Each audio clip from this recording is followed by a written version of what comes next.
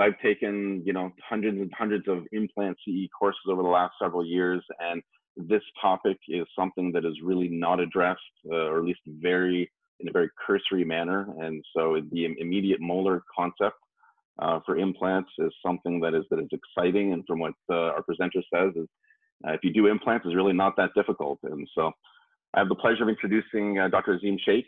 Uh, he's a general dentist. He's been practicing for over 17 years in Brampton, GTA. Um, he's a Western grad right here in London, Ontario, which makes me like him even more back in 2003. Uh, he's the owner of Brampton Dental Arts, where he focuses mainly on perio and implant dentistry. He's placed over 4,000 uh, dental implants, and uh, he's the course director um, in the Master's Implant Program for HIOS in Canada. Um, also, he's the founder of the Ontario Dental Implant Network. So if you place implants, um, he's been kind enough to allow me to join his group. And while I've been drowning in the hundreds of emails that I get uh, every single day from that group, um, it is very interactive, very solid group, and I believe he's been letting people uh, join on a on a trial basis, and I thank him for that. Um, and and so yeah, it's been a great network. I've become a big fan in the last uh, few months of uh, Dr. Azeem, and I'm really looking forward to his talk. So hope you enjoy everybody, and go ahead, Azeem. It's all yours.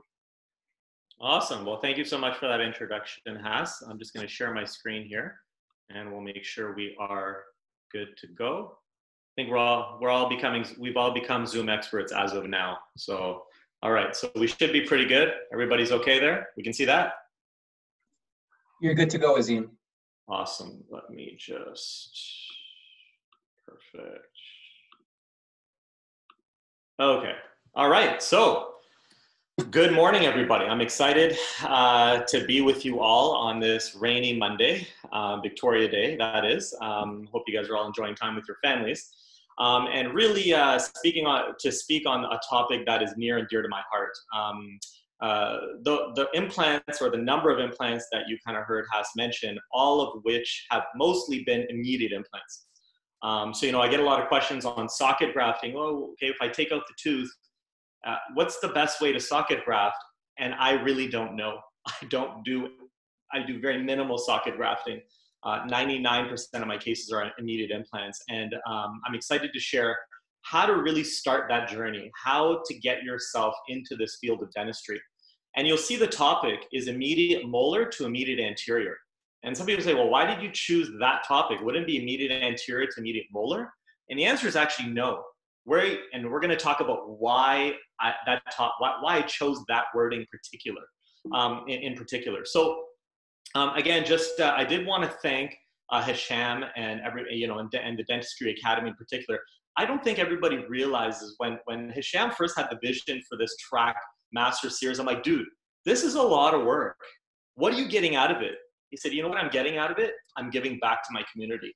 I'm giving back. I'm like, I mean, this is just amazing for us to have these types of lectures, these speakers, and, and I don't think everybody realizes how much effort goes into this, um, really, and, and the quality and, and everything. So again, uh, uh, for those of you who haven't liked him on Facebook, I don't know, send him a gift, do something to give back to this guy, to this man. But I mean, he's just done so much for our dental community, and I think especially during these times where everybody needed it. So thank you, Hisham.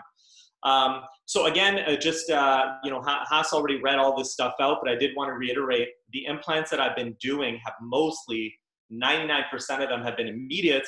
And again, these are not just for my patients. These are for referrals. So some doctors say, oh, this guy's doing immediates. Okay, well, how do we know if they're failing? I would not be getting referrals again if I was having failures, right? Um, because I'm, I'm, I'm, you know, I'm, I'm privy to those other dentists who are sending me these cases. So they're working, right? They're clearly working, and patients are clearly happy. So, um, you know, I guess this is where um, everybody wants to now start getting into immediate implants because obviously they realize that there can be a high success rate, and we do have a high success rate with them. So uh, make sure that you visit. I mean, I do have a website. Um, it's called livedentalsurgery.com. Um, I've also got a Facebook group uh, or Facebook page, and I do post a lot of cases, and those cases have step by step. So if you want to see an immediate molar or an immediate anterior, you can watch it step by step. You can see the pictures. Um, also, check out my Instagram page. I post a lot of cases on that as well. Um, so just make sure you do like us on those. Um, so what is an immediate implant for those you know new new dentists you know kind of wondering okay i learned about implant dentistry from lapointe you know basically doesn't tell you a lot about implants um, in dental school but what is it well it's basically when we remove the tooth at the same time we place the implant okay so that's what an immediate implant was uh, is coined and this term was reported back in 1976 so again I'm not very good at math, but I'm going to say that's 50 years ago. 50 years ago. So why is this all of a sudden now, maybe over the last, you know, several, you know, days or what have you, uh, several months, be become a, a, more of like a hot topic? And so now to further that, um, let's look at the studies, right? And and the highest quality of studies. I don't know if you guys have seen like the the totem pole on what makes studies the most genuine and the most authentic. And those studies are always systematic reviews and meta-analysis. Those are the highest level of studies that basically take generally all the studies, they put them all together, they do a review in depth. And so Chen did this review back in 20, I think it was 2015, 2014. Sorry, I can't see because 2014. And um, and uh, basically, what there, what he showed was that the implants, immediate anterior implants, whether it was delayed uh, whether you're placing the implant the same day or whether you're waiting, actually you're getting the same results. And the same, the similar study in 2010, and this is again, this is like 10 years ago, showed that immediate, even with molars, um, you know, placing an implant into a molar site, whether it was done something delayed or whether it was done at the same time of implant placement, actually was giving you the similar results. Uh, so why are we not doing this? Why are we not doing this? right? I don't know. And I will argue that actually you will get a better result. We'll show you how. So here's an example. This is what we're going to talk about today, the immediate anterior. So of course, removing the anterior tooth, placing the implant the same day, um, and then in some cases, depending on your level of expertise, going ahead and fabricating a tooth on it the same day. The same thing goes with immediate premolar. And now actually for first premolars, I typically tend to make the tooth the same day, but this just shows a picture of placing the immediate implant. The immediate molar, which is my love, which is my passion, which is what I'm going to talk, spend a lot of time today talking about. And then, of course, moving and transitioning over to something like a full arch, where we're again removing all the teeth and then, um, you know, in, in many cases, placing implants and the patient leaving with a set of teeth the same day. And I can tell you those are very life changing procedures. Um, so, how do you start? Okay, so you either just got out of dental school, or you've been placing implants for 10, 15 years. How do I start? How do I get into this field? And you know, I know you're thinking, wow, you know, I'm nervous. I'm scared. You know, what if this? What if that? I don't think I can do this. Bullshit. I shouldn't swear, right, Hashem? Shouldn't swear? Okay. So you can do this. You can totally do this. You just have to pick your cases. And this is exactly what we're going to talk about. But the first step is you have to take a training program, okay? This is not me speaking, this is the RCDSO and their guidelines, which we teach on and I lecture on, you know, three times a year or twice a year when we do our basic implant training program on the guidelines. It's a 16 page document. It outlines basically what you should start off with, what is classified as an easy case, and what's classified as a complex case. And, uh, and again, this is just the course that we teach through the Hiossen program. Um, and again, you, you, know, the key and what I would encourage you all to do, and I've spoke about this before, um, is make sure that you align yourself with a course that has what I call super GPs. Um, again, I love specialists and I think they're great, but having some GPs allows you to really relate in a different way, I feel. And that's kind of what I've heard. Also, it, it behooves me to know that people have taken or spent thousands of dollars on courses and walk away from these courses and not feel comfortable placing an implant, right? And this is one of the reasons why I initially started and I helped start the Hiossen Basic Implant Training Program and then evolved to the Master Implant Training Program, um, is to basically make sure that when doctors um, ultimately have completed their um, you know their training that they feel comfortable placing implants that's my number one goal. Um, so what's great about the program also, and when you when you start getting into implant placement, and when we start talking about immediates, is you have to know how bone feels. And one of the things that I love with our training program is that we get, we give these doctors these these bone blocks, and you'll see like the bone blocks actually are made of wood, and it gives you a nice feel for like what hard bone feels like. You know, so what D1, D2, D3, D4, because that's really what it's all about. It's you know I always talk about this becoming one with the bone, and that's what's so so awesome about implant dentistry is it's really like a game it's like a chess match you know how are you going to manipulate the bone to do what you want it to do and this is where things are so exciting in implant dentistry it's not you know like a restoration. Okay it's great. You know you can put some marginal grooves you can do all these cool things in there but when it comes to implant dentistry it's just so much more exciting there's so much more of a rush. Um, but you have to really understand and feel bone and these are some of the ways that you can kind of understand and, and get that feel. You also have to know to take how to take out a tooth, right, with immediate implants. So understanding, and I know you know some of you are thinking like, oh my god, a molar that's endo treated that keeps fracturing, you know, and you're there for an hour trying to take this tooth out. God forbid, now I need to do a molar implant after that. So you have to know the instruments on what to use, and they're not a lot that you need. Something like a periotome, something like a luxating elevator, um, you know, how to remove the tooth atraumatically i think is important for you to understand and it's funny because you know when when doctors ask me you know like you know i had to take out this molar and it, it took me like an hour and i said well what did your flap look like at the beginning? They said well you know there, there was no flap. And then i said how did it look like at the end? Well you know there was i had to drill the bone and remove the bone. I said well why don't you just do that at the beginning? You know why don't you just strategically remove the bone that you need to either A, where your osteotomy is going to be, because if your osteotomy is going to make a hole, that's going to create some space, and that'll allow you to remove your tooth even easier. Or you create some space around the tooth that doesn't compromise the buccal plate or the lingual plate. So I'm talking about going in and we're going to talk about that. And then, of course, using proper forceps, like apical forceps. There are forceps that will contour to the root, to the apex, and will minimize the risk of you fracturing the root or the tooth or whatever. So it's having the proper tools, and you don't need a lot, you don't need to invest in a lot, but you do need to have some good instrumentation. And I think those are some of the key ones that I talked about are important to have when you're dealing with extractions and wanting to preserve the bone and the soft tissue. Because you know, sometimes you've taken out that anterior and now you look at the tissue and you've just grabbed some of the tissue with the tooth, right? Because your forcep was too big. So these are some of the things that you have to be mindful of when you're doing immediates. Also, so again, we're talking about building our skills, building our confidence. Number one, obviously taking a basic implant training program, like I talked about, right? And those basic implant training programs typically come with some live surgery. So take advantage, get patients. I don't care if you have to get them off PGD, but get patients. Number two, feeling bone, practicing on these bone blocks, right? Taking out teeth atraumatically, which we just finished, practicing, because we all take out teeth. Why not try to do it atraumatically, right? Spend a little bit more time, and I'll tell you it'll take you less time once you get better on strategically how to take out the tooth.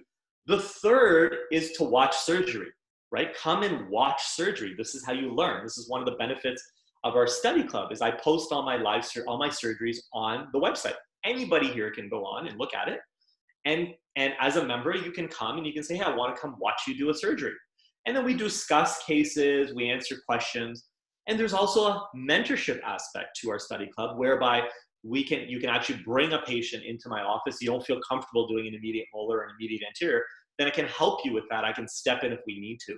And we're running a program, or we were supposed to run a program with Hiossen where uh, we were offering doctors to do that you know, kind of like on a weekend on a one-on-one.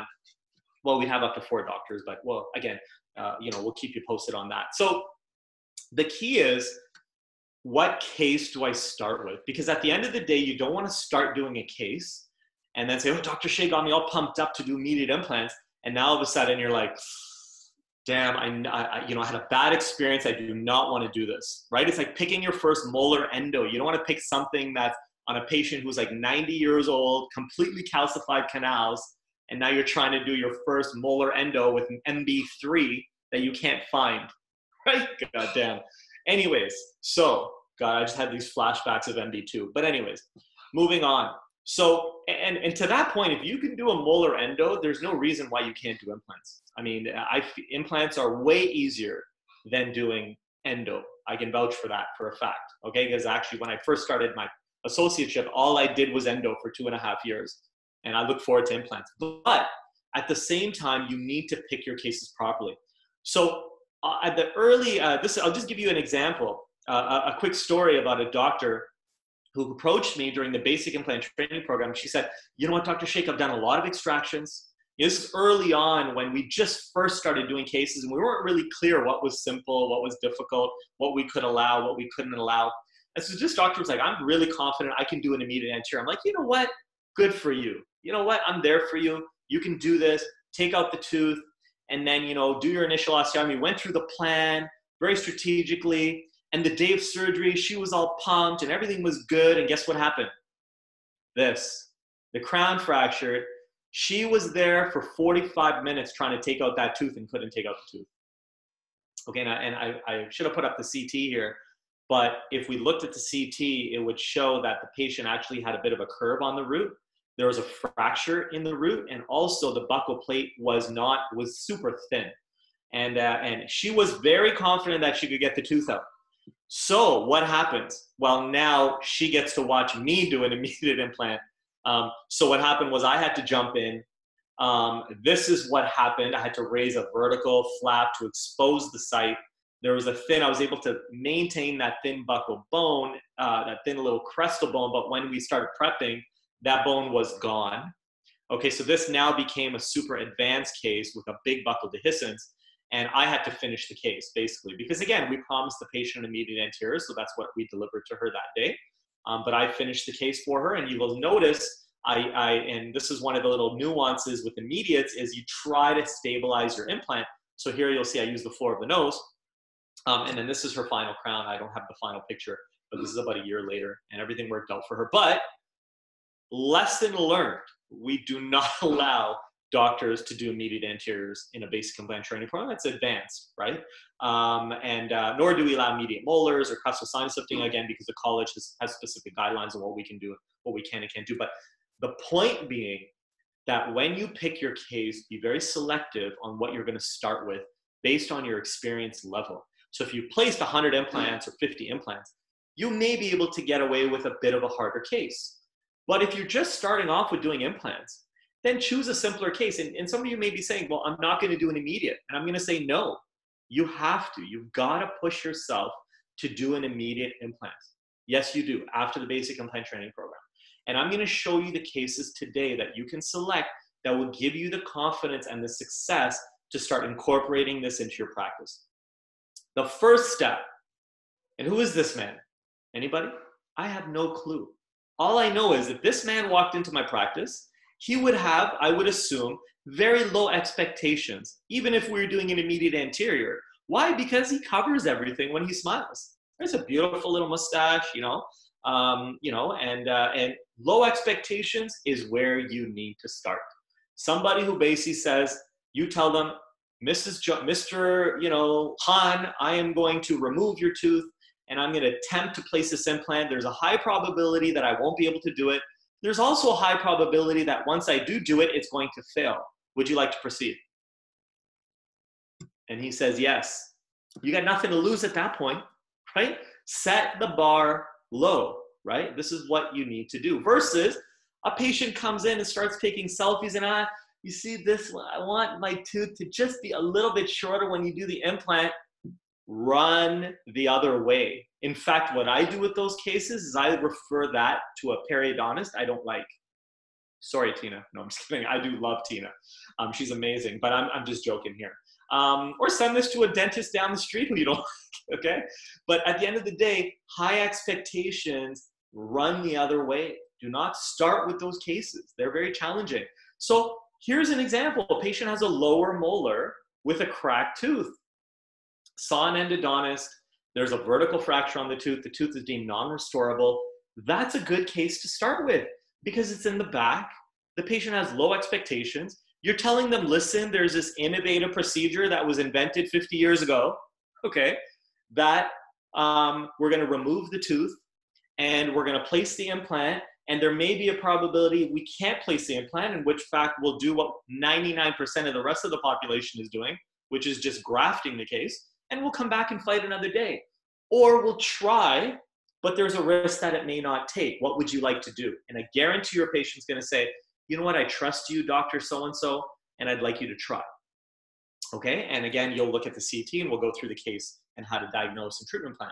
Versus this is one of my patients who was a hygienist with a high smile line who needed the 2-1 removed, had an apical infection due to resorption, and this was an extremely challenging case. I was able to successfully complete the case. Some of you who saw my immediate uh, implant lecture, you will you can find this. And you know what about the lectures that I've done anyways for for Dentistry Academy? You know, we started off doing the immediate implant lecture, which really kind of highlights what's possible with immediate implants. Then my second lecture was on the 12 and a half steps to successful surgery. So how do you do those steps? And I think this is a nice lead in now into doing it, like picking a case and doing an immediate implant. Okay? So now we understand what cases we're going to select, right? What are we going to start off with? What's the title of the, the lecture? Immediate molar to immediate anterior. So you don't start with immediate anterior. You don't start with immediate premolar. You start with immediate molar. That is the easiest area to start for implant dentistry. And I know it's funny, me and Haas, one of our hosts was discussing, he's like, I've done immediate anterior and I've done immediate premolar, but I don't haven't touched immediate molar. I'm like, dude, this is gonna be a joke. This will be a complete joke, and you're gonna slap yourself on the head when you realize how easy it is. But again, for some reason, there's this perception that molar implants are harder to do. Um, and we'll talk about that. But the key is under promise and over deliver. And that means have it in your informed consent, right? So let the patient know what exactly I said. Don't beat around the bush. Just be very honest. You know, it's like when it comes to periodontal disease, you know, it's a periodontal disease when we diagnose it, it's done behind the patient, quietly, like, shh, she's got four millimeter pockets, uh, six millimeter pockets with bleeding. Don't tell her right? Like, why are we doing that? Just be a freaking professional. Tell your patient they have perio and tell them they need to treat it. It's the same way with implant dentistry. Just say, listen, I'm going to try to do this. It may or may not work, but if it does work, which I will tell you 99% of the time it will if you choose your case properly and you follow the steps, then worst case scenario, we'll go back and I won't charge you anymore. And we'll save you four or five months of healing time and a second surgery. What do you think your patient's going to say? Do you think you're going to get better case acceptance? Um, that's a hell yeah to both those questions, right? So this is why you need to start doing implant dentistry right from day one, immediates, anyways. And that's what I did. Um, now, don't do what I did. I was a, I was a bit of a cowboy. So um, I'm going to take you through uh, how you should do it, not my journey and how I did it. Because the way that I did it, quite honestly, was a trial and error period. And as I mentioned, I had my mother praying for every one of my cases, and I got lucky many times. Um, whether you want to call it skill or gifts or, or, or luck or prayers, um, but that's not how I would recommend starting your career in implant dentistry. So, the first step, of course, is proper diagnosis and treatment planning. Now, this is, of course, after you've discussed, you've set the bar low, the patient has low expectations. So, we want to take some good external pictures. We want to take some good intro photos. And you want to look at the soft tissue. You want to make sure. Now, this is the beauty with immediate implants. There's normally enough keratinized tissue already there, unless the patient has some mild recession. But normally there's keratinized tissue there. When you extract the tooth and you let it heal, you know, there's a risk that you will lose some of that during the healing process. And of course, when we do our incision, we're going to move some of that, that back. But normally that's not a problem. Okay? Smile line, stay away from anterior. Some of you may have to stay away from premolar because if the patient has a high smile line, they can see the premolars. Those are not cases you want to start off with. Those patients will have higher expectations. And oftentimes they will want a tooth the same day. Um, 2D x-rays, you want to have your standard pan PA. I mean, I have a CT in my office, so that's a standard of care, I believe, just for implant dentistry as a whole, especially when we're presenting the treatment option. But if you want to get quick case acceptance, for those of you who are doing implants, if you want to get better case acceptance, get a CT scan in your, scanner in your office. Um, it will pay dividends. It will increase your case acceptance by 30%. I can put that in writing for you.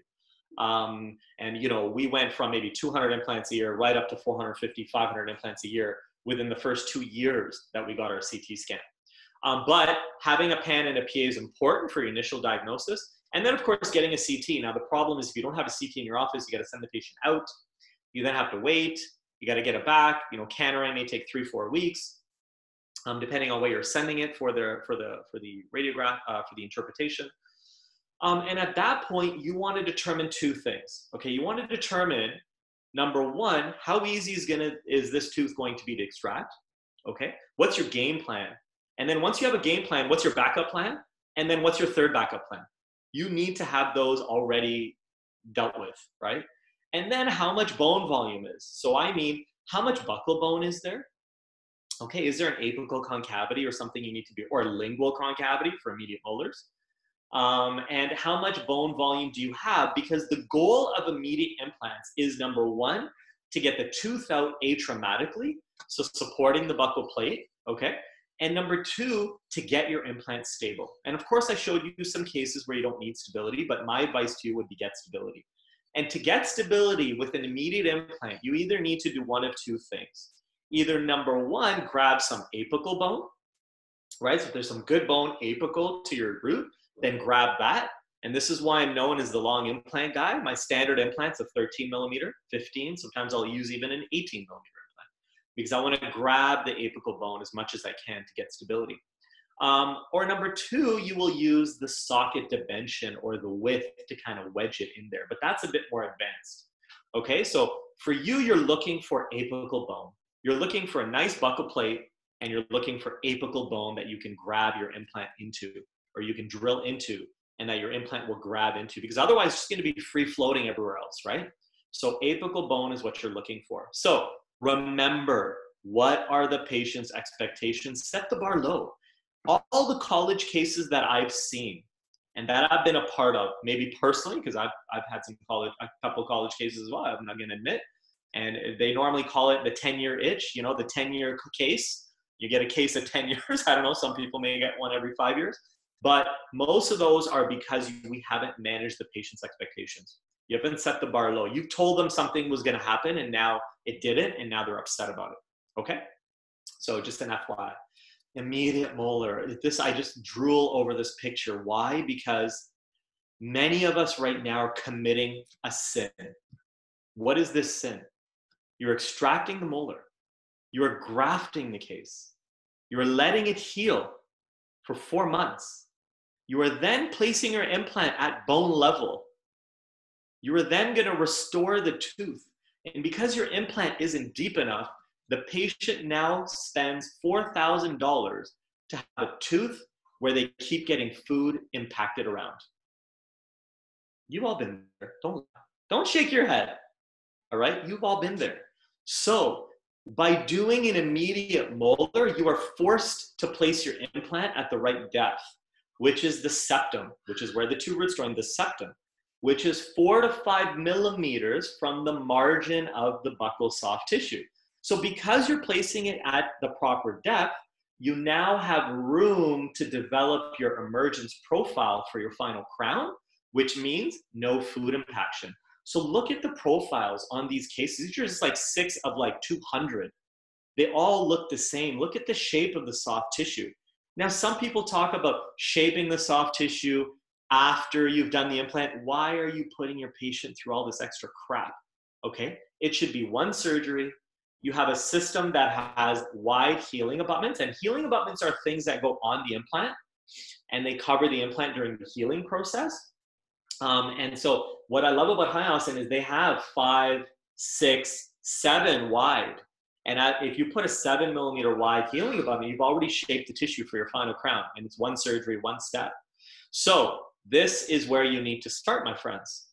Immediate molar implants. Now, I'm going to go through this. This immediate molar, I normally do it's a full day course. So I'm going to give you guys like a crash course on immediate molar implants. The same thing goes with immediate anterior. I don't we, we don't do an immediate premolar, but we should. Um, but immediate molar 101. Okay, so do, here's an upper molar. How many roots does an upper molar have? Right? How many roots? Three, right? Sometimes four. Why is it important to get a CT?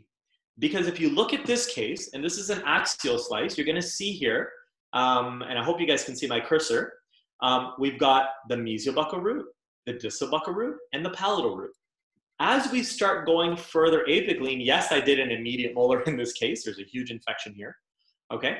You're gonna see that they continue to stay three roots. So when I'm sectioning this tooth, we never grab the molar and try to take it out as one piece.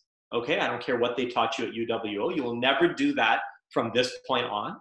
You will always section your molar into three roots, but there are cases, so this is again an immediate molar, you'll see how I sectioned it into three roots.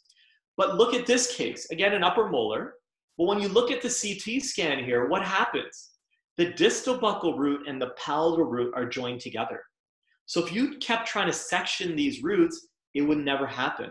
So by looking at the CT, you can then game plan how you're going to extract the tooth. And in this case, it was more of like an L-shaped uh, uh, sectioning. I took out the, the mesiobuccal root and then I did my prep for my immediate molar, um, keeping the distal buccal and palatal kind of joined, and then I took that all out as one piece. Okay, so Again, the importance of a CT in diagnosing the case to make your life easier to extract the tooth. You can also look for curvatures in the axial slices and these types of things. So, Dr. Ziv Simon, I mean, this guy is just phenomenal. I, I cannot say more uh, great things about Dr. Ziv Simon and his and his eagerness to help the dental community. He came out with like a COVID protocol, a whole book um, that he just gave out for free. I mean, this guy's been amazing.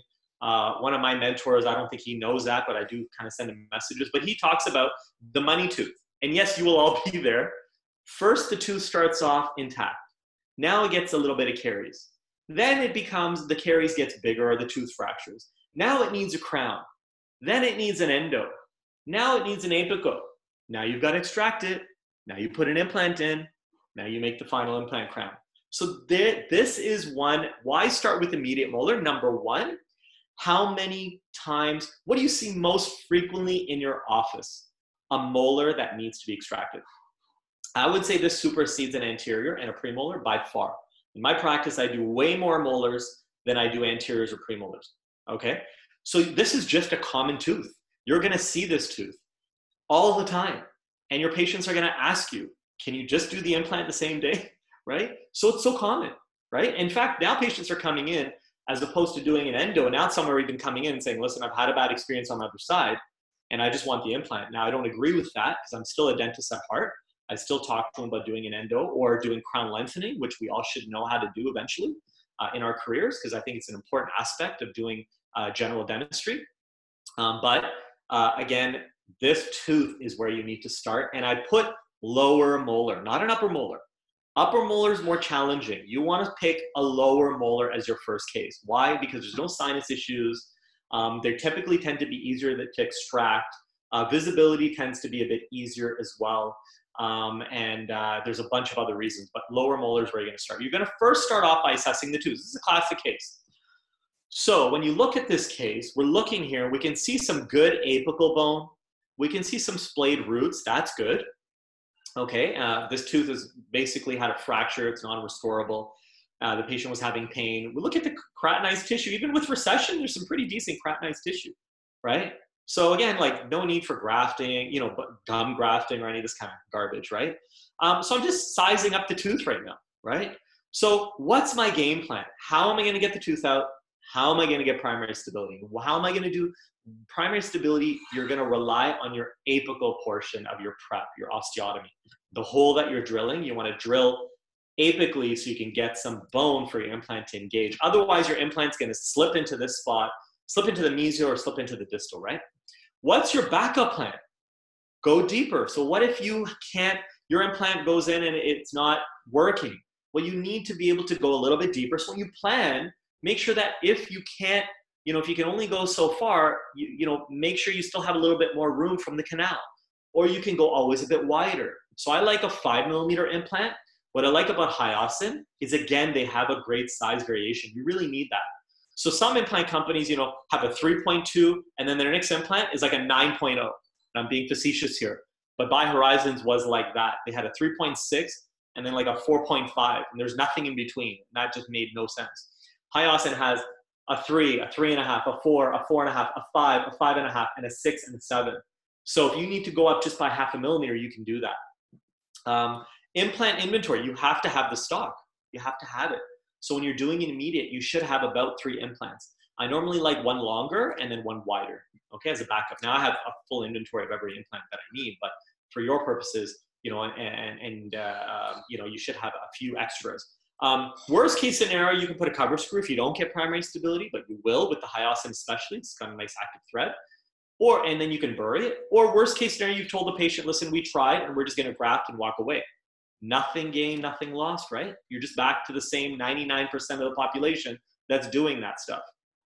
So here's the adequate inventory of implants, and you should also have an adequate inventory of healing abutments. Why? Because depending on how deep your implant goes, your healing abutment will have to kind of be a little bit above this level of the soft tissue. Uh, some cases I'll keep it flush with the soft tissue.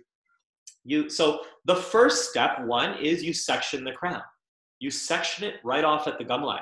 And some of you new grads are like, oh my God, that's what we need to take out the tooth.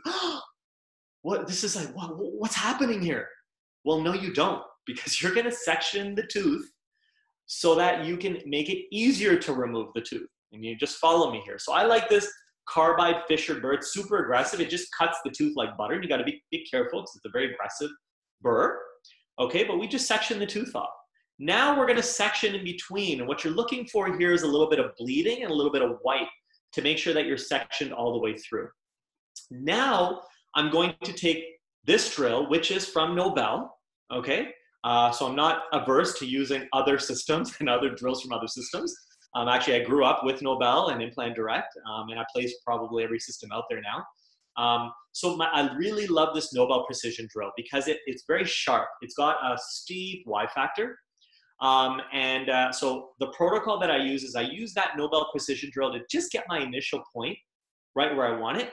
And then I use my guide drill and a 2.0, which is a 2.0 drill. And I take that, so there's my 2.0 drill. And I take that, what, again, what I love about the Hiossen, it's got stoppers. So it's got like a safety on it. So you can't go deeper than what you want. And I'll put that in, in the middle, and I'm just checking my angulation here, like buccolingual. I can check it mesiodistal now. This is the importance of why you need a camera. Because your camera can show you that, if you look at this closely, the implant is a bit too distal. And this is a trick that I'm going to tell you right now. Take notes here. Oftentimes, when you're doing an immediate molar, your implant is going to end up not directly in the mesial root, but just distal to the mesial root. So oftentimes, if you're in the septum, you're too distal. Okay, I hope everybody followed that. All right, because typically the molars tend to have a curve towards the distal. And also this drill, you'll because it has a curve, especially the mesial root, it curves distally. Your drill will hit the tip of that mesial root. Okay? So oftentimes I will personally extract, once I've made this hole, I will extract the mesial root and then continue using my drill, leaning it on the distal root and kind of going deeper. Okay, because again, you just keep hitting the mesial root, right? The, the angle. You'll see that shortly. So there you go you see how I'm in the septum, I'm kind of a bit too distal, but I'm hitting the mesial curvature of the, uh, uh, that, that distal curvature of the mesial root right here. So if it's not that much in the way here, but oftentimes it can be quite severe. So I might, you may have to remove that mesial root first. But here I felt like it wasn't that much in the way, so I kind of kept going down and made it larger. So what I like to do is from this point, I will check with a guide pin. And the guide pin from an occlusal, and you need to have an intro camera. I mean, you get so many crazy shots and pictures and guidance. Um, but you'll see that when I look at the guide pin, you can see the wider circle is a five millimeter circle. It tells me where my implant's actually gonna be, and you'll see it's too distal. Same thing here, it looks too distal. I can also get the patient to bite down, and again, I wanna make sure that it's hitting the opposing palatal cusp. So these are just things that you can do. This is called the through the tooth method, which I recommend people using when they're doing an immediate molar because the roots guide your drill. So you're not falling into a socket. Imagine the roots were out and now you have these two holes and you're trying to go in the middle. You're just falling all over the place, right? So um, now I like to take that hole up to the size of a three and a half drill. Why a three and a half drill? Because a three and a half drill is big enough to make a wide enough hole. Remember now, remove some bone. Do you think it's going to be easier now to elevate the tooth? Yes, because you've removed some bone. It's big enough to remove enough bone to facilitate extraction, but it's still not that big whereby if I need to move the osteotomy, I can still move it around where I want. I can change the angulation or, or the position, maybe move it a bit more mesial. So once I go ahead now and I extract the roots, because now I've had, I have my three and a half drill, and look how apical I am. Like that's about a good five, six millimeters of apical stability. Now here's the key, guys. Listen, listen carefully, listen carefully. Once the roots come out, assume that you're screwed. And what do I mean by that?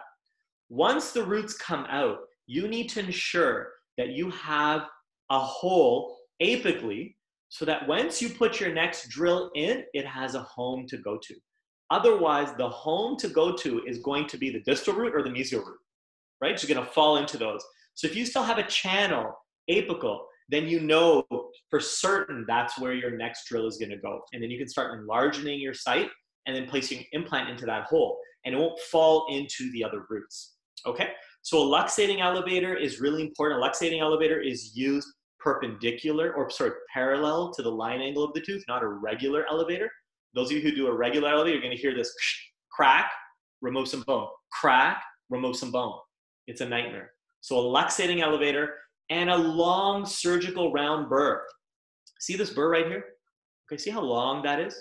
It's a super small, like I call it like an endo burr you literally shove this down and you're and you go interproximally okay so i'll go interproximally and i'll actually literally do a crown prep on the side of the root and some of you are like well aren't you removing interproximal bone and the answer is yes but as long as you maintain one millimeter of bone on the adjacent tooth you can remove as much as you want okay so i've removed bone from my drill here and now i'll remove bone along the side of the roots okay? And I'll literally go as far down as I can to the bottom of the root.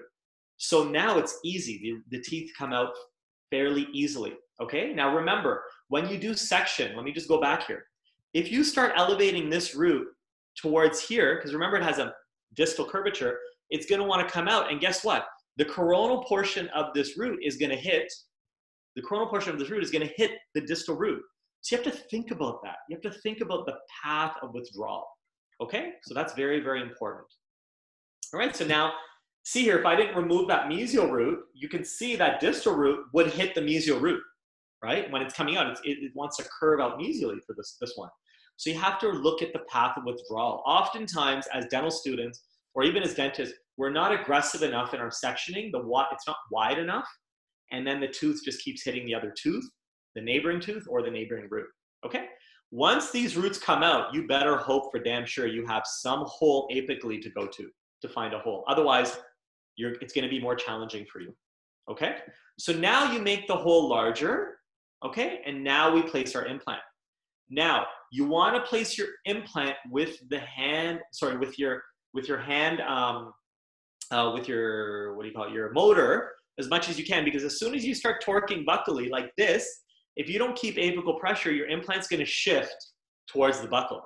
Okay, so you have to make sure you place your implant to depth. And how deep does it go? It can go at the septum, but I like the reference point of five millimeters, four to five millimeters from the margin of the buccal soft tissue. That's where you want to be. Okay, you'll oftentimes get a great torque.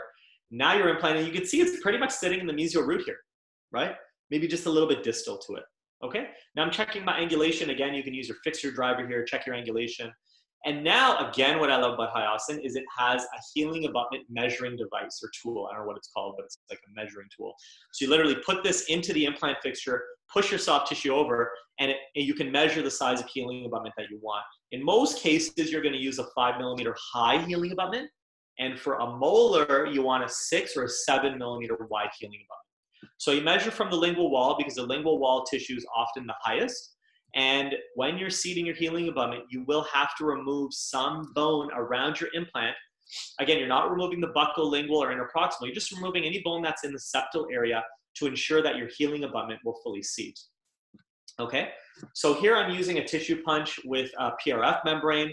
Um, you don't need a membrane for these cases. You could just literally use the healing abutment, or you can put a collagen membrane. Um, and uh, and I like to put a cover screw on. Again, remember your torts. Don't go crazy with your cover screw. Pack in your bone, and this is just allograft mixed with um, cortical cancellous allograft mixed with um, PRF, although you don't have to use PRF.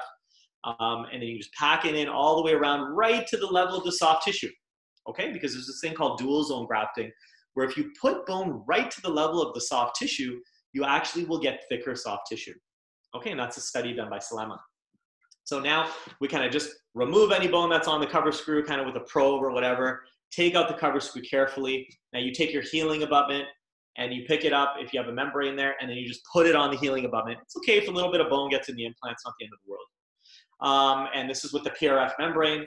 You tighten it down, and then you tuck the membrane underneath the buccal and lingual soft tissue. So I'll oftentimes just kind of create like a little pouch on the buccal and lingual, and then you just suture it up, just regular simple interrupted or a double simple interrupted suture. Um, where again you go like a single interrupted, but then you come back again. So the first one's a bit deeper, and the second one's a bit shallow. And then you tie off the knots on the buccal, and then that's the final X-ray. So you can see again we've ended up pretty much in the mesial root, but that is the center. Your center of your implant should not be in the center of the tooth. It should be in the center of the contact point of the adjacent teeth. Okay, the contact point. So you're looking at the contact points here and you're looking for the center of those. Okay, so now we suture this up, send the patient home and say, You're welcome. One surgery, one step in three and a half months. Okay, so this is one week, looks great. This is two months. This is four months. That's what it's gonna look every single time. That's beautiful. That's you did that in one step. All right, one surgery. And now you put your impression coping in, and again, uh, has high impression copings that match the healing abutments. So I can put a six millimeter wide healing abutment, uh, sorry, impression coping. Um, and this was a case that I posted on Facebook where I compared actually a digital scan case. This is a scan body I'm doing a digital scan of the implant versus a traditional. So this is the traditional model, and then this is the scan model. And actually, the scan implant crown fit better. okay. Um, uh, so then we just, you know, it's a screw retained or screw mentable crown. We just screw it in, you know, put some Teflon tape, cover it up, check the occlusion, and then that's it. I mean, no fluid impaction, nothing. That's the final crown. So, do you think you can do that? I think so. I think so. I think this is very achievable. The second is an immediate premolar. And these ones can be a bit more challenging because, again, as you get to the premolar region, you get a bit closer to the sinus, right? So, this is a case that I would say you can pick as, your, as an immediate premolar. Why? Because the root looks like it's fairly conical, looks like it should come out fairly easily, right? Looks like there's some pretty decent buccal bone. And look at the apical bone. There's good amount of apical bone.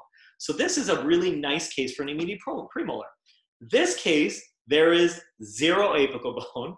The buccal plate is ah, it's still not bad, but the sinus is right there. So for me, this is an immediate premolar. For you, this is not an immediate premolar. Okay, this is not a case that you would start off with. So this is a case, again, that has some pretty good apical bone. The tooth is heavily restored, non-restorable at this point because the, you know, clearly there's, I don't care what amount of crown lengthening that you do, it's not going to give the patient a long-term prognosis. Um, and so here's the implant plan. Again, you can see that there's some pretty decent apical bone. And in this case, especially in upper premolar, I like to use the CAS kit drills. And for those of you who have seen my sinus or CAS kit indirect sinus, those drills are non-end cutting. So you can actually kind of use the CAS drill and purposely kind of perforate through or penetrate, I should say, the sinus floor. And why, why do I like the sinus floor? Because look, it's whiter and whiter means it's more radio opaque and radio opaque means it's harder bone, which means that if I grab into it and I get my implant to catch it, then I'll get a better primary stability. So I'll oftentimes purposely go into those areas. So here's a tooth. And I know all you dental students are like, oh my God, how am I going to take this tooth out? Oh my God, it's going to break. So the first step you need to do is just create some space. So section this, because if you start elevating here, you're going to start hitting the adjacent tooth. So create some space. Then take your burr, that long, small round burr, and sink it in like you're doing a crown prep as far as you can down the side of this root and down the side of this side of this root. And you'll notice when you get your luxating elevator, the thing's just gonna pop out. Okay? It's not hard. Now we do our initial drill. And you'll notice I'm angled, it's too far distal, right? But I'll use my drill. What I love about using not only a guide pin, you can't really use a guide pin in immediates, guys. I mean, maybe with a molar you can, but with premolars or single rooted teeth, the guide pin just doesn't stay. So I love using the drills, and the drills, because they're long, they over exaggerate the angulation. Okay? So now we have our drill. You can see we're a little bit distal because, remember this, the tooth root is not always in the position that your implant should be in. So teeth roots sometimes are like a bit too distal. You can see the root is a bit distal. We want our implant maybe coming a little bit more mesial. So premolars make it a little bit more challenging because you really have to kind of man up and force your, your prep into the right direction. So now we've gone ahead and we placed our implant in the optimal position. And again, one little trick with anteriors and premolars is using a hand driver. It literally looks like a Phillips screwdriver. It attaches onto your um, fixture driver and you can literally just put the implant in by hand and you can maintain apical pressure as opposed to using the torque wrench, which can shift your implant, okay? So the implant premolar, I would say this is a bit more challenging depending on the roots and how much apical stability you can get. Um, okay, but again, we do it the same way we do the molar. Our implant goes in, four to five millimeters apical to the margin of our buccal soft tissue. We graft the jump gap, and then we just put a healing abutment. That's all you need. You don't need any fancy thing here. The healing abutment, you know, Tarnow showed actually you don't even need to put bone graft in these cases, but I like to. It makes me feel warm and cozy. Four months later, this is what you're going to get a beautiful picture of soft tissue. You take your impression. Look at the soft tissue. It's gorgeous, right? And now you go ahead and put your final crown in. And again, that's all done within four months. Immediate anterior, the last immediate kind of case that I'm going to talk about, these are more challenging cases. Um, but I will tell you, these cases have the highest case acceptance. All right, because a patient comes in and breaks a, mol- breaks a molar, eh, I could live without my molar. I'll chew on the other side. Eh, you know, all my I deal with a lot of Italian patients, like, oh, eh, eh, eh, right?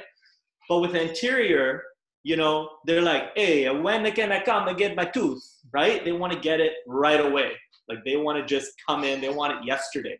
In fact, I've done many cases where they come in in the morning and the afternoon I'm placing the implant. And Hisham, I think, you know, we were just talking about something similar to that. You know, he's had similar cases. So these patients are highly motivated. Now, be careful. Okay, set the bar low.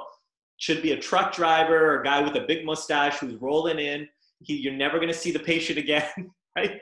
Um, just pick your cases very carefully. But look at this case. The root is positioned so far buccal, and the, the, the plate is so thin that when I extracted this tooth, compared to, okay, so let's compare this to a case where the root is not as long. You can actually see the buccal bone looks a bit thinner, uh, a bit thicker towards the crest, and there's more apical bone kind of in the area where you can access it a bit easier. So in this one case, here, I lost the buccal plate. I just lost it in the extraction. Maybe I'm not as good as most people to extract, but I had to raise the plate and look at this. Is a nightmare. This is a hard case, right? Or a more complex case. In the other case, I was actually able to maintain the buccal plate. So again, comes down to maintaining an atraumatic extraction. Um, so the goal is to place the implant. And for beginners, I would recommend not making the tooth the same day okay, because that portion is more complex, requires more skill. But if you can take the tooth out and just place the implant and put a healing abutment, and then put the patient in an Essex retainer, um, you know, not a not a denture. Most patients like Essex much better. Um, you know, an Essex retainer just has it's like a clear Invisalign with a tooth on it. Um, then I think you're doing the patient a great service because you're four months you can take an impression and you're still maintaining the soft tissue. Um, you know, if you don't feel comfortable doing a tooth the same day. But the challenge here is staying palatal. So not falling into the socket. So using a burr, um, you know, uh, to maintain your palatal positioning and place your implant palatal enough so that your screw, your screw channel will exit out the cingulum. What I love, love, love is the Lindemann burr or the side cut burr. Um, and that comes standard in the Hiossen kit. It allows you to really kind of drill into the area that you want it to stay into. It's aggressive enough to get in there. Um, it won't, it, you know, your drill won't fall into the socket. And I love, love, love my Nobel Precision drill, which I talked about, because again, it just it puts you right in the right direction. So if you have a slope and you want to be kind of mid palatal, it just allows you to stick to that position. So this is a case of an anterior patient fractured her tooth. She actually fell on the sidewalk. So we had to extract atraumatically the anterior. And now you're going to see, if you look closely, I don't know if you guys can see this, that little hole kind of maybe a third of the way down the socket palatally. That's my little Nobel precision drill, okay? Now we're gonna make that a little bit bigger by using up to our 3.0 drill. And I always under prep a millimeter and I always go more apical. I wanna get as much apical bone as I can. So here I'm just putting my drill in to check my angulation, buccal, lingual, mesial, distal. And you'll see here I'm even grabbing the floor of the nose or the nasal floor that has cortical bone as well. Um, you don't have to go that deep if you don't want to. Now we're placing our implant, we're adding our bone, and now we put our healing abutment. So for those beginners, this is where you would stop. So you want to choose a healing abutment that's a little bit kind of flush with the tissue a bit shorter. Or if you want to take it up a notch, you can put a temporary abutment, trim it, and then make an actual temporary crown for the patient. This is more complex. If you are going to make a temporary crown, we're looking for that reverse S curve. We don't want to impinge on the bone or the soft tissue. So these are again, and then we highly polish that. So, you know, you can put that in, and then, you know, this is the soft tissue that you get. But honestly, you'll get something very similar with a healing abutment as well. Maybe not as contoured, but still acceptable. Okay? And then there's her final crown. All right? So an immediate anterior, I think, would be the last case that I'd recommend starting with. Um, uh, just because it's oftentimes in aesthetic zones. But if those are the cases you have and you have the CT and it shows you you can get the tooth out fairly traumatically, you feel confident in doing that, and you have good apical bone. The other option for those of you starting is going guided surgery. So guided means that once a tooth comes out, if you're worried about slipping into a root, you can have a guide made. And by going through that hole, it'll force you to go in the right position. So this is a lower case that I did fully guided, and I, I think I'm gonna post the actual, um, on, on my YouTube channel, I'm gonna post the video for this. But this is an example like a 3-6 implant, and this is, this is the CT post guide. I mean, look at that it's like dead on. Like we were like there's okay, there's the before, there's the implant plan. You can see this is where the implant should go in right here in this green section where the implant is, and this is the safety zone that we set. Um, and then there's the CT of the implant afterwards. You can see, look at there's the nerve, and we're about a millimeter and a half because I like to live dangerously. I set my safe dangerously. I like to, I set my safeties at about a millimeter and a half. Okay, so guided is really nice. You can do the same thing for anterior, where you can again have the anterior um, be fully guided and it'll just put your implant in the right spot right from day one. And I know Steve Chang's talking tomorrow. He's a huge guru on guided uh, surgery. Um, so, uh, you know, where's the hype? Let's be honest, it's immediate anterior. The problem is that when you get a case like this, and you know, look, the bone is very thin, and you start doing so. This is like, let's say, this is the same patient. One two was an easy extraction. Two two was not an easy extraction. So at this stage, and two two had a fractured root, um, you know, if you compare what we did, we virtually did the same thing, except two two is much more complex because we lost the buccal plate. There was an infection, there was swelling. This is not a case you should start off with. But for one, two, this is totally a case you could start off with. And if you looked at the CT, if you go back, there was there was thicker bone there. There was no swelling. So just to kind of run through this really quick, okay, we placed our implants. Um, we made teeth the same day, but again, as beginners, you can just put a healing abutment. And if you look at the overall end result, the challenge here is to get the same result on both sides. And that's not easy depending on your expertise in grafting and so on and so forth. So these anterior cases can be very challenging. Okay, and you'll see here, here's the CT of the one two. I just kind of stayed, I grabbed a little bit of apical bone, and the two two I had to graft quite a bit. I actually like the way the two two looks better. Um, you know, so I actually like flapping and grafting because I wind up getting better bone. I mean, of course, if we can stick to atraumatic surgery, then that's what we do. And then these are the final crowns. Um, so I'll just breeze through this really quick. Um, and so this is her one year post-op, all right? So anteriors can be very rewarding, high case acceptance, but at the end of the day, just be mindful that where you should start is immediate molar. Just you know fractured cusp. You're going to see this so often in your practice. If there's amalgam remove the amalgam first. Get rid of that stuff. Use the tooth to stabilize your drills. Remove the roots make the hole a bit bigger get good apical stability put your implant in and then just graft okay tuck it in suture it let it heal after two weeks it's going to look like nothing was done after four months, you're gonna have this beautiful soft tissue as long as you're using good healing abutments. Okay, and then you just take the impression and you deliver the final crown after four months, all in, right? No food impaction. Why? Because you placed your implant deeper, which is what we all should be doing, even for grafted sites, which we're not, which many of us are not. So, are there next levels to the game? Absolutely, right? Where we have no buccal bone, no buccal bone, bone that literally, you know, there's a hole that goes buccal palatal.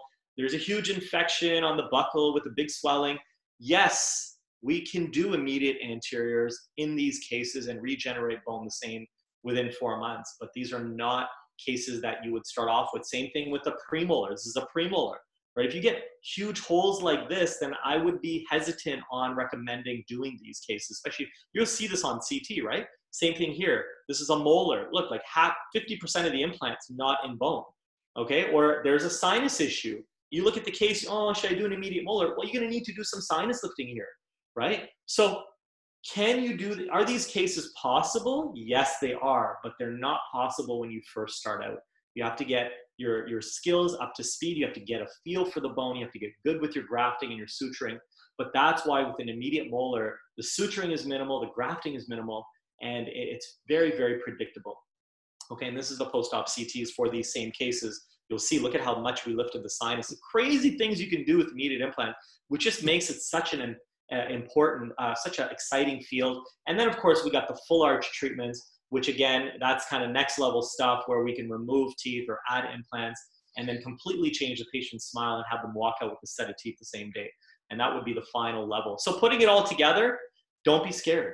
Okay, don't be scared. The only reason why you're scared is if you did not pick the right case and you are not prepared. Start with lower molars, set the bar low, and put that in your informed consent be prepared for contingencies, meaning have the right instrumentation and have the right amount of implants. So, you know, a wider implant, a longer implant if you need it. Look for bone. Where are you going to get stability from? Look where where are you going to do that, right? And how are you going to get primary stability? Because that's what you need. You really want to have primary stability because people always hem and haw. I've seen these cases on Facebook where they're putting a cover screw on an immediate implant. That's a violation of the soft tissue. If you get good stability, put a healing above it. It will maintain the level of soft tissue. You always get poor quality tissue on a cover screw. And remember, just do it. All right. You just got to set your mind and do it. And that's what I did. I didn't care. I had done maybe 10 implants or 15 implants. I said, I'm just going to do it. And I'm going to start with a molar. And I never look back. And I will tell you, your patients will love you for it. You will get better case acceptance. You, it's more productive the list goes on and on and on, and nobody can argue that it's not a predictable procedure as long as you pick your right cases. So, um, for those of you who want to get into immediate molar and implant, you can go on my YouTube channel, and I have a step-by-step video on how to do it. So the stuff that I talked about, you just subscribe to the video, subscribe uh, to the YouTube channel, and you can see immediate anterior and immediate molar. I mean, it's as good. You know, I, I think it was Dinesh. Thank you, Dinesh, for taking some of these videos. Um, the All on Four video is done actually by some guys out in City TV and the Weather Network who help me do these videos. They're very high quality.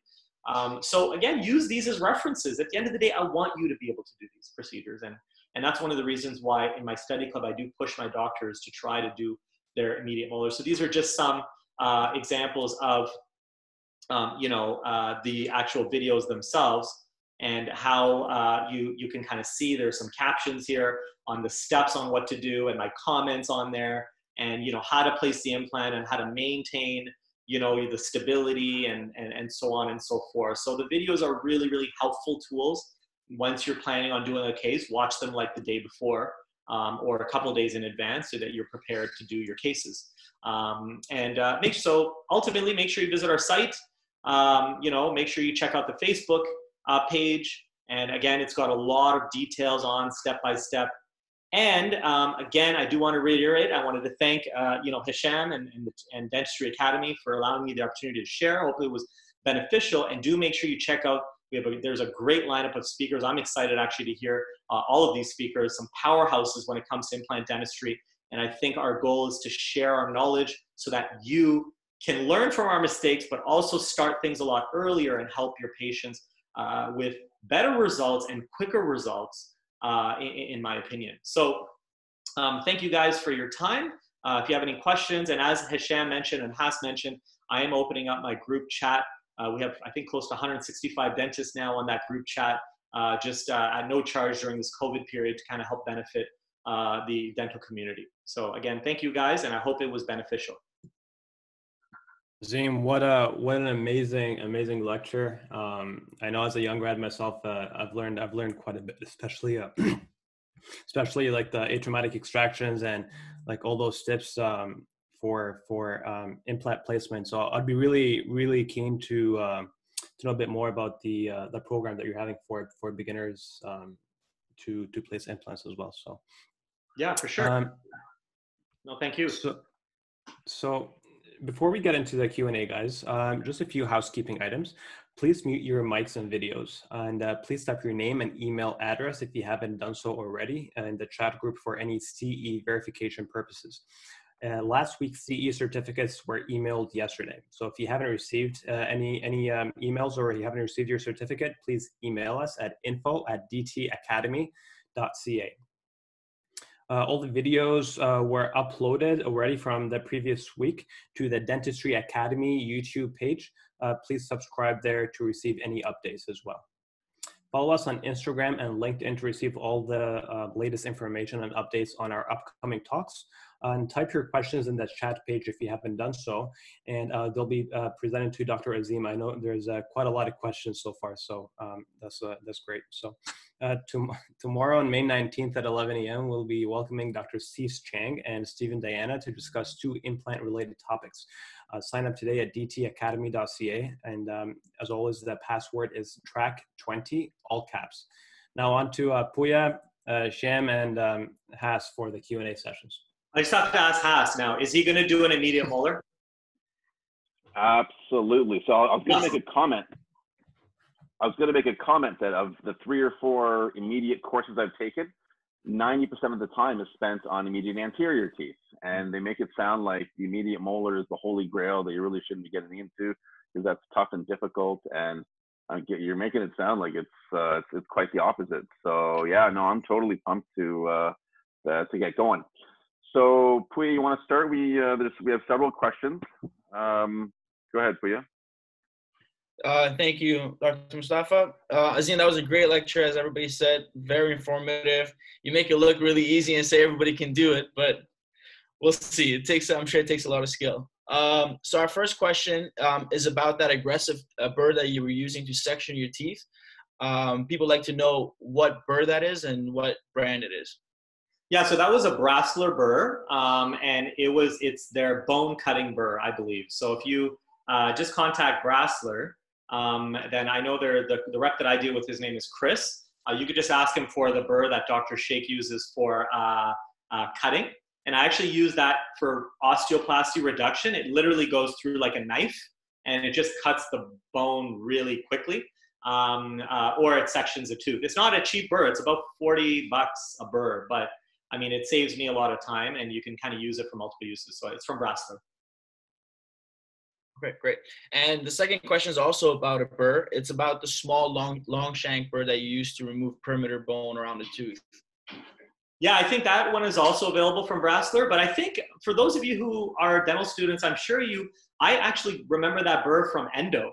It was like a long surgical round carbide. It's got to be a carbide, uh, mm-hmm. super small, maybe like a size two uh, carbide burr, and I remember using that for like access uh, to find orifices. So you, many of you probably already have that burr in your endo kit. Okay, great. Um, Very so, good. Yeah, Haas, you want to ask your question? Uh, sure. So I was going to ask, and we had a couple of people also ask about this. And what about if you've got that infected uh, molar site? Are you curetting out? Are you irrigating? Are you using any kind of special irrigants? Uh, yeah. So I saw, I saw, yeah, I saw the question, and people were like, "How can you place implants into infected sites?" And I think that's a great question, but it's a faulty question because the question is, um, how can we place implants in an area that previously was infected?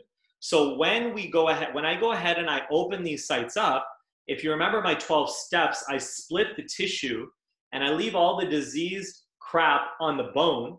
And then I curette and I use burrs to remove all of that diseased tissue. So that site is no longer infected. All of that stuff is cleaned up. Now we just have holes to deal with, which normally it's horizontal ridge augmentation, which is very predictable. So um, I don't use any special irrigants or tetracycline. I'm a very simple guy. I clean it out with curettes. I like burrs, so long surgical round diamond burrs, um, because diamonds won't cut away the bone, but they get rid of tissue really nicely, or back action chisel. And now I just now I now have an open site. I just kind of place my implant where I want it, and then I graft around it. Very good, thank you. Uh, there's another question about um, is it okay to use forceps after you section the tooth? Um, or is it, are you still better recommending drilling the bone away and kind of elevating the, the, the roots out? So I, I would say drilling some bone away strategically, so either where your osteotomy is going to be, or interproximally without compromising the interproximal peaks of bone. Um, never buccal or lingual if you can avoid it, unless it's got like a thick buccal plate or more so the thick lingual plate. But I really think, I mean, honestly, I can remove every single tooth in anybody's mouth with a luxating elevator, just with a luxating elevator. Now, I do have in my arsenal some apical forceps. And uh, oh, sorry, I think they're called root forceps. And they're really long, they're skinny, but they're strong enough that you can actually, you know, elevate with. So um, I do have a list of those. Maybe I can try to, they're called apical forceps or root forceps, I guess you could say. So yes, you can use both luxating elevators or root forceps as well, but they're very narrow, very skinny root forceps. Yeah. Great. And um, Azeem, uh, Dennis likes to know um, everything that you use so far. It seems to be very similar to the Astra Tech implant system. Uh, have you ever used Astra Tech um, in any of your cases? I am not familiar with the Astra Tech system, but as long as the so I'm these are all these are all Hiossen implants that I've been that I, that I showed you in my presentation. Um, I would say, and you can use any system. At the end of the day, my criteria for an implant system is that it's affordable.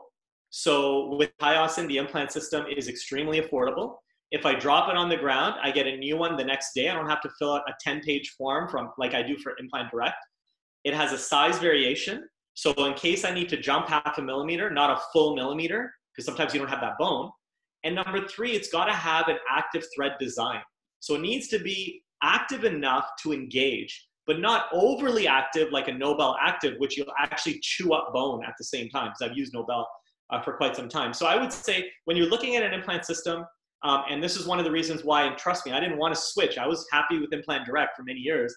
But the benefits of me moving to Hiossen, I literally can, it's for a beginner and it's for an advanced, like, and, and it has everything that you need.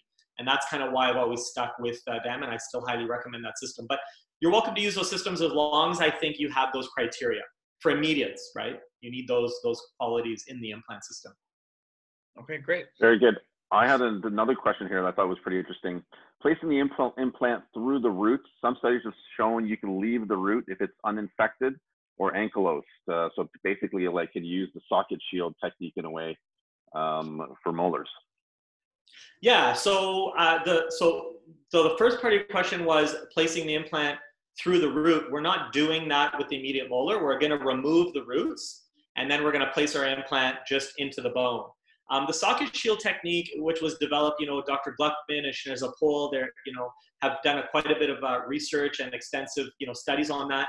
I personally am not of that approach at this point, especially for a begin. So I don't do it personally in my practice just because I've seen too many shield failures. Um, uh, but also, um, as a beginner, it's already hard to take the tooth out, let alone spending time preparing the shield, right? So I would advise not going that route initially until you get good and comfortable with just basic regular 101 implant dentistry, which is taking out the full tooth. But there are, I mean, the results are amazing from what I'm seeing with shields, but the research isn't out there long enough as it has been for a full extraction. And I think if you keep your tooth implant palatally enough and you graft that site, then the literature supports you don't need to maintain the shield or maintain a tooth. But I just don't feel comfortable with it personally because uh, I don't want to have a college case where they put, put me on the spot and say, why'd you leave the tooth there? But you can you? Yes, you can. I've seen cases that people have done that. Okay, great. Um, so the next question is about steps after an implant placement. They'd like to know your steps as to your bone grafting, healing abutment, and membrane placement, your sequence as to how you do that. Yep, so implants in at the right spot, at the right depth. Then I put my cover screw. Then I pack my bone. Then I remove the bone on top of the cover screw. Okay, I actually use that. I don't know if you guys remember that probe that I was measuring with my heat for my healing abutment. It's a bit wider of a probe. So I just circle around, I remove some of the bone. I take my driver, I remove the cover screw, and then I take my healing abutment and I put it on and I s- screw it down. Okay, and it kind of pushes the bone out. Now, before I actually will put the cover screw on, you just have to make sure that your healing abutment seats first. Because you don't want to get to that stage where now the bone's in there, your membrane, you put the healing abutment, and now you take a PA and it's not seated. So this is one of the problems that people tend to have with immediates is putting the healing abutment down. And this is where it's important to really remove the bone. And I, I use that same burr that I described using to remove uh, infected tissue, which is that long surgical round diamond burr. It's like a size six. I just, if this is my implant, I just take that diamond and I really trough away bone. And I'm not removing bone apically coronally. I'm just troughing it so that I know once I put my healing abutment, it's going to go down all the way. But those are the steps. Cover screw. So test my healing abutment. Make sure it's you know seated passively. Cover screw, bone, remove the cover screw, put my healing abutment, tuck in my membrane, and then just suture two simple sutures on each side. And done. Very good. And Another for- question. And for, and for premolars and anteriors, you don't even need sutures. So Another question. With adequate interseptal bone in molars, are you using densifying burrs or osteotomes to widen your osteotomy?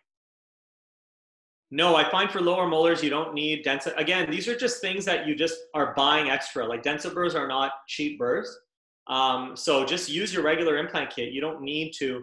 Uh, the key here is you could. I mean, it looks cool, and I think you know people are posting. But maybe if it's soft, like an upper molar, I will use Densah sometimes for sinus lifting if I can't use the hydraulic kit. But uh, you know, because you have roots and you have open roots and you can't get pressure. Um, but I would say on average, you're just using your regular burrs, and that's normally enough for lower molars, especially. Before we continue on with our Q&A session, uh, it's my privilege to also bring in Dr. Pierre Obaid. Uh, for those of you guys who do know or do not know Pierre, he is a fellow at the, uh, um, uh, the implant, uh, what is it, the, the ICOI, and he's also a, um, an implant guru in so many different ways as well. So um, he'd like to also chime in wherever it is that he can, and I'm going to go ahead and unmute him and uh, welcome uh, Dr. Pierre Obaid. Uh, Pierre, can you hear us okay? I can hear you fine. Good morning, everybody. Thanks uh, for giving me uh, a few minutes uh, to talk about a few things. Um, Azeem, I, I, I really uh, am appreciating how you present uh, um, your materials, what you want to say to everybody. I believe it's in a nice systemic, uh, um, you know, systematic format, and that's what they need. They need step one, step two, step three. Um, but one thing I just want to add, I know we're talking about immediates. It's all right to just take out the tooth and bone graft. Mhm. They have to get really good at achieving that. And and why I say that is it's pressure enough just to learn about implant dentistry and the proper angulation and the and the proper depths and so many other complications that come with implant dentistry that the most simplest uh, approach for some will be get good at extracting teeth get good at understanding what bone graft materials you are using and why you're you're using it your suture techniques. And once you've gotten to a point where you're comfortable and you see how your hard tissues uh, respond and your soft tissues respond diving into immediates you, you just have that much more confidence. So you know i appreciate uh, i appreciate all you guys uh, uh, you know gathering uh, of all these uh, young dentists i'm getting on the uh, uh, on the other side of uh, of my uh, practicing uh, uh, time wise but um, you know i love to see you know all these young faces and wanting to learn how to do things properly so good work guys Thank you so Yeah, much for that, Pierre. Pierre. Yeah, and, and, and again, I think to Pierre's point, of course, we're talking about immediates, and you know, um, you know, I, I definitely agree with Pierre in the sense that you know most people who are first getting out uh, are not going to be comfortable doing this type of thing. They're going to be too, they're going to be sweating their pants just trying to take the tooth out, and this is where atraumatic extraction and taking these courses is super important. Um, but at the same time, you know, I, I am a believer of kind of pushing yourself and at least, you know, if you have these opportunities to try uh, and you feel confident, and this is one of the reasons why we have a study club or doing mentorship side by side by an experienced dentist like myself or uh, Stephen Diana, I know offers that peer-to-peer training that can kind of help to kind of point you in the right direction. And I think that's kind of the important point out of all of this is, you know, yes, follow basic principles, but at the same time, know that there are other things out there and that we are here to help you kind of grow your skills. And it's really exciting, just dentistry, implant dentistry in, in particular, and bone grafting. I mean, Pierre knows there's so many eh, cool aspects to bone grafting that I think you need to learn uh, before you jump into just generally even implant dentistry. So you got it. So what we're going to do is we're going to continue with the Q and A um, aspect of things, and Pierre, it'd be great to have you as well uh, chime in. But before we do so, I'm just going to go ahead and just do a couple of very small housekeeping items, and then we'll go ahead and continue with the Q and A. Um, as we've mentioned, we have tomorrow uh, both Dr. Stephen Diana and Dr. Stephen Chang will be speaking to us on uh, both implant-related topics. To give you guys an idea, Dr. Uh, Steve Chang has been closely watching a lot of these lectures, and he's actually decided to pivot his talk um, to something that is new, fresh, and that's basically coincides with this entire speaker series. So please make sure that you, you tune in tomorrow at 11 a.m. And as always, the password is track capital all caps 20 dtacademy.ca. We're going to go ahead and pass it on to Poya for some more questions. Thank you, Dr. Shurigan. Um, Azeem, our next question uh, says, with adequate interseptal bone in molars, are you using your densifying burrs or osteotomes to widen your osteotomy? Yeah, so that was just kind of like the same, uh, very similar to the question that we had asked right before was I typically don't, unless it's an upper molar, then you can use, uh, and if it, you feel like it's soft bone, then you can use the denser burrs. It's just these denser burrs are not cheap. And so, you know, I don't like to use things that I don't need to.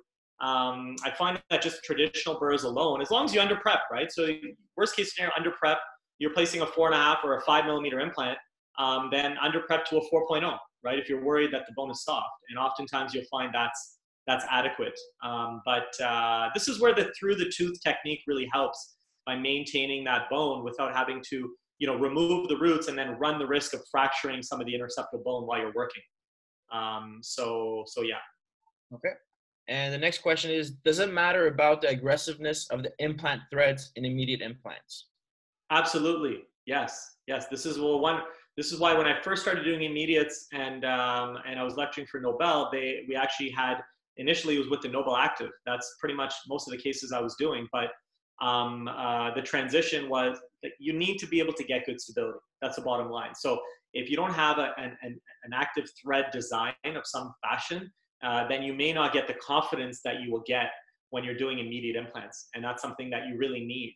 Um, and uh, what I love about, like, for example, the Hiossen implant, in like really extreme cases, you've seen cases where, you know, let's say an upper molar, there's only two millimeters of bone or a millimeter and a half, and I'm still getting good stability because the thread design goes right to the top of the implant.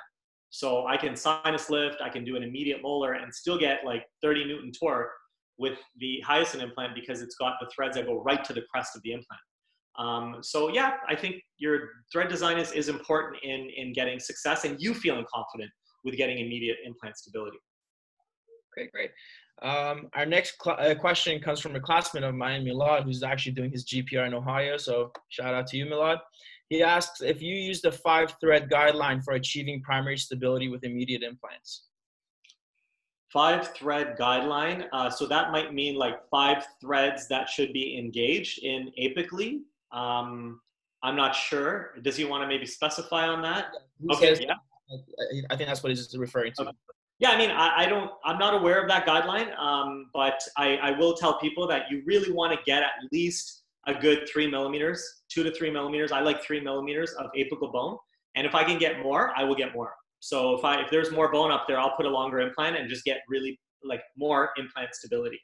Um, so three millimeters, I would say, is the bare minimum that you should get um, that will be enough, again, depending on the thread design to be able to get you good implant stability. And remember, like in immediates, I'm not talking about just placing the implant anywhere. You have to be able to place the implant in the optimal position.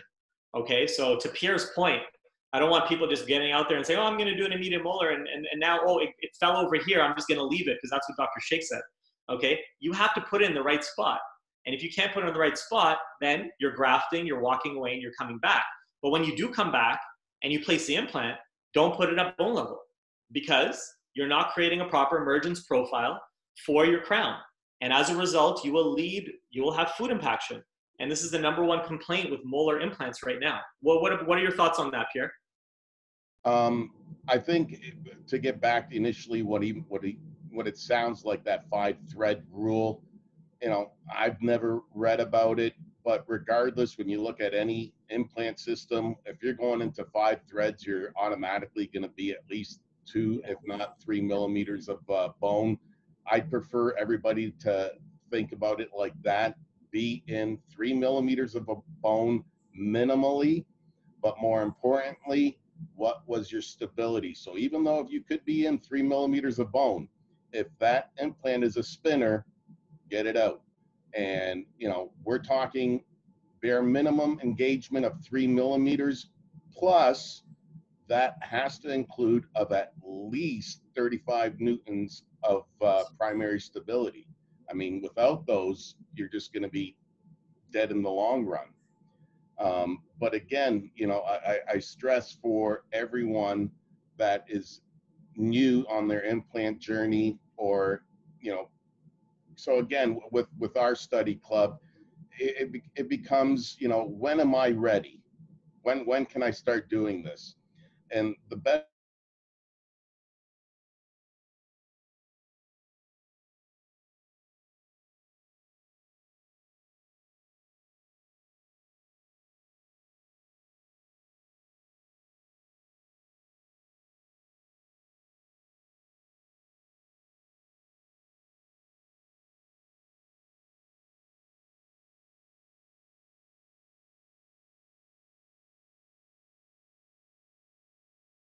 it's still a failure. So they have to understand that concept of success, failure, and survival. Just because something has survived, meaning it's integrated, does not mean it's a success. And think about that implant if you want to put it, you know, in someone's forehead. Yeah, I'll get it to integrate, but who wants a tooth on the forehead? Same kind of idea. Yeah, and I think overall it's important to understand that it's case selection here, right? So if you're planning on doing an immediate molar, you want to basically select your case in, in, order to achieve success. And if you don't feel comfortable, then you don't do it. Um, but if you placed a good 20, 30, 40 implants and you're like, hey, you know what? Uh, I want to try, you know, I, I, feel comfortable doing this. It's a great case. There's adequate bone. I, I push the envelope more than Pierre. I'm not going to lie. And, and I do personally um, you know, I don't think I would be at the level that I was or, or doing the immediates that I was if I didn't. Um, but at the same time, I think you know yourself and what your comfort level is going to be. For those of you who are starting out, you don't, right? So you're going to really rely on other people. And that's why it's important to take a training program and be with, you know, leaders like Pierre, myself, or other doctors who can help you in that journey to determine what cases are going to be best for you to start with. Um, but man, immediates are awesome, bro. absolutely, I do. What's one thing I do agree with you is that, um, and again, I, I, just had this uh, last conversation with my study group. Um, some of my, you know, as far as the, you know, how successful are implants? I mean, we've all read the literature that says it's 94% success rate, you know, and and there there is that that abstract zone. But I've showed them my internal numbers and um, as far as overall percent, my immediate placements have had some of the highest success rates, surprisingly. Yeah. All right, let me step back in here for a moment because we had a couple of questions we still wanted to get through. Shout out to my uh, my buddy and mentor Pierre. How you doing, Pierre? Um, this is a technical question. Um, why are you placing a cover screw and then changing it to a healing abutment? Why not just place the healing abutment and then pack uh, graft and membrane around that? So it's a great question. I mean, uh, I like to put the cover screw in first because it allows me to pack the bone a little bit more into that site, as opposed to I'm using six, seven millimeter wide healing abutments. So honestly, if you saw some of those cases, once you put the healing abutment, the whole site is sealed. And you know, one of the things that a lot of people talk about is you have to get primary closure around your implant. Well, by placing your healing abutment, on your implant, you're pretty much getting primary closure. But the problem with doing that is you don't have access to packing in that bone. And it makes me feel nice and cozy when I pack in my sticky bone and I can get it right down in sight. You know, the PA looks better. Uh, actually, I'll use a sticky bone to even gain more stability. And some of you have seen some of those cases where actually I had no stability on the implant and I just used sticky bone itself. Again, these are more extreme cases. So um, that's one of the reasons, but it does, uh, you know, give you another point of error. If you put your cover screw too tight, now all of a sudden you pack your bone and now you go to untighten your cover screw, you can take out your implant. Ask me how I know. So you have to be mindful of your torque. And like Pierre said, you definitely want to get a good 30, 35 Newton torque. And that's not hard to achieve if you pick your case properly, have good apical stability, and you have a good threaded implant, aggressive implant. Okay. Um, Azeem, another question that we have is um, what are some of the reasons failures have happened with some of your immediate molar cases? Again, I'm, I'm, I have not had one failure with an immediate molar implant. I, I, I, I have 550 cases documented. I have not had an immediate molar failure at all. What I have had was bone, let's say the bone graft had not taken as well as I initially intended it to. So, um, and, and, and again, to Pierre's point, uh, what is a failure, right? Like, uh, uh, you know, it, it is, if the implant, if the implant's in the right position, uh, then the question is, uh, do we have adequate soft tissue and adequate bone around our implant? So um, the immediate molars that I've been doing, I have not had issues. And I think that to, in, in part is number one, getting apical stability, so using cortical bone like the floor of the sinus, or in some cases even the lingual plate, but again, these are more complicated procedures, um, and using sticky bone uh, to graft. Because again, I have the soft tissues typically there, I just need to close the site. Um, so uh, I have not internally, again, just to Pierre's point, I have not, that's the reason why I continue doing the procedure. And again, these are not on my own patients, these are referral based patients who I'm seeing for these procedures, and we're getting optimal results. Um, but they do come with a higher risk, and that's why setting up the patient and saying there is a risk that the implant could fail. If you have that concern, number one, maybe you shouldn't be doing it. Or number two, you set the bar low, like any case, and tell them, hey, listen, it, you know, some people say, well, you know, immediates are, you know, you shouldn't be doing immediates. But then I argue with them and I say, well, let's see how good you, how predictable is your bone grafting, right? Like you, you, you say, okay, you're going to graft the site. Well, show me all your cases and how much bone you've got and open it up. Okay. But nobody shows me that stuff. So to one point, it's like, let's graft everything and then come back. But the other point is, how do you know how much bone you're going to have? How good you are at bone grafting, right? So this is why I love immediates is the bone's already there in most cases. You're just basically filling in the voids and using biology to help fill in uh, the, uh, the bone around your implant. Okay, great. I think we have time for three more questions and then we'll wrap things up. Um, we, another question that we have is which Hiossen implants spe specifically are you using for immediate molars? Uh, well, I just use their, their ET3 system, and then they have a, a, newly another coated implant called the NH implant, which they say can help to kind of, can kind of improve, um, you know, the loading time. But I still wait four months on all my cases unless it's a large grafting case um, then I'll wait five months. But uh, yeah, just their their and ET3 implant. Okay.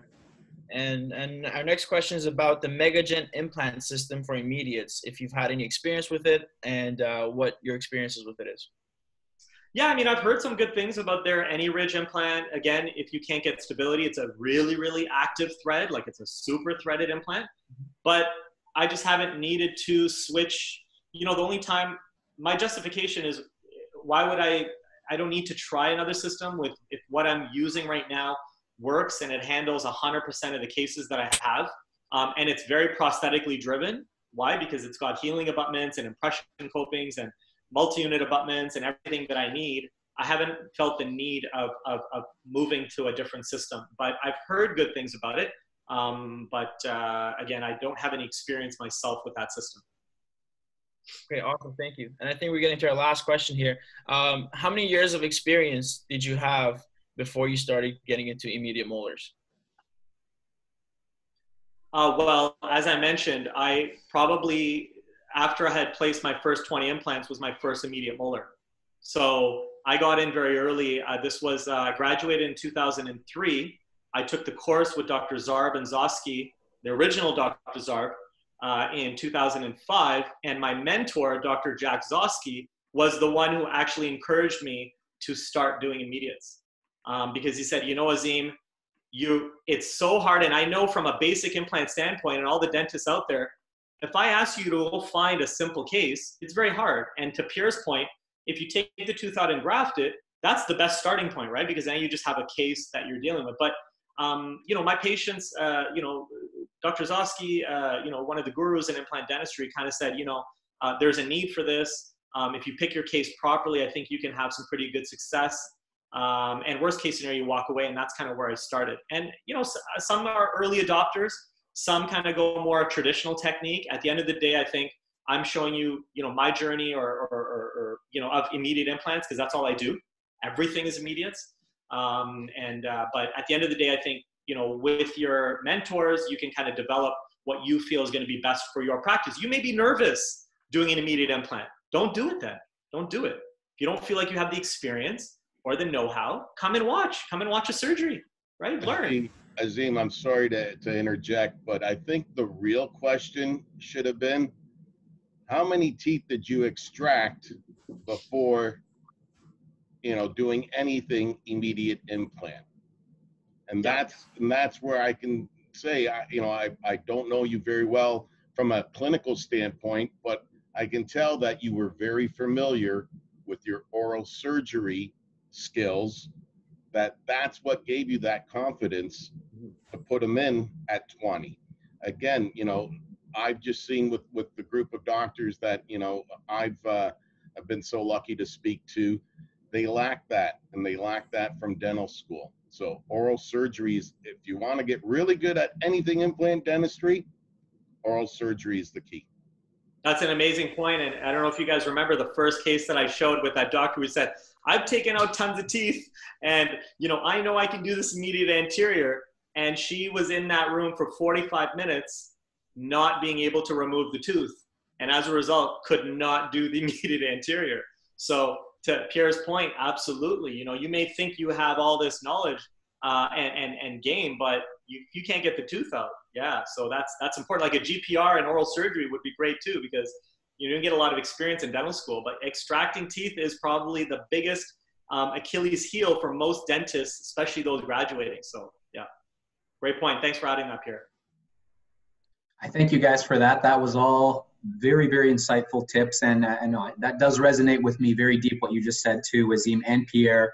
I do uh, wholeheartedly agree that before placing an implant, make sure that you have solid surgical foundational skills from not just taking out teeth. I think that's a, that's a huge fundamental, but also flap design, suturing, and that's why we, we hit home on on introducing Dr. Tina as one of our first speakers to talk about the value and how important it is to make sure that you design your flaps well if that's something that you're that that you need to do that you suture well. And you know to make sure that your surgical um, uh, work through is is is fine tuned before you go ahead and take on the step of placing implants. Um, so thank you guys for that. Uh, so we're going to wrap things up for the day everyone. We'd like to thank our co-host for the day, uh, Dr. Haas Mustafa, great job. Um, Dr. Ziad Hamad working behind the scenes tirelessly, tirelessly as always. And of course, um, Dr. Poya Maliki. Thank you guys so much for that. And we would like to thank Dr. Pierre Obaid as well for jumping in. Uh, of course, we would like to thank uh, Azeem Sheikh for all of his efforts that he's done through uh, into the to the entire community, guys.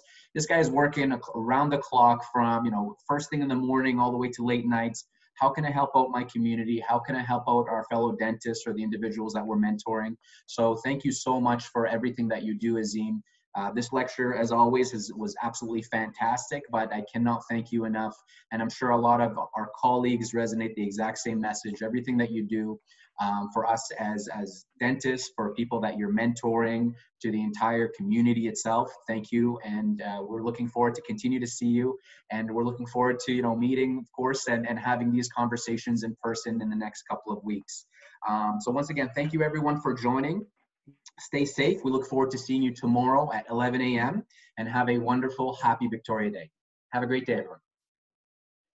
Take care, guys.